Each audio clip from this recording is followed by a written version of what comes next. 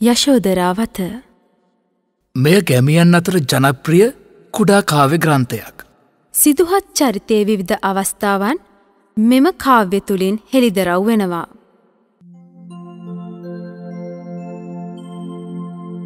රන්යානී සැත පින කල බිසෝවුන්ට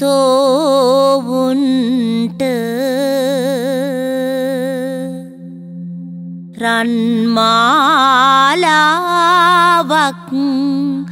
තිබුණා. යහන පිට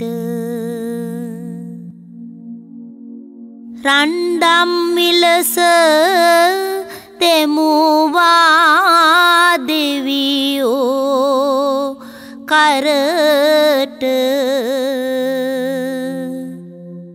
අලුයම් වෙලේ ඔය සීනේ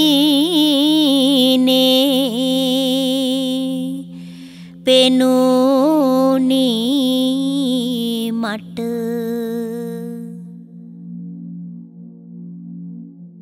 දෙනෝ දහක් අඟනෝ මට මල් නෙලෝවා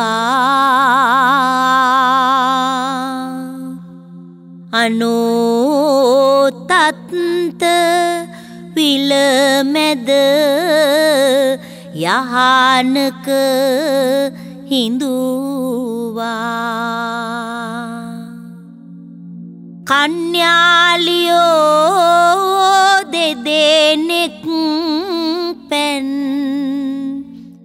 නැහැවෙව්වා.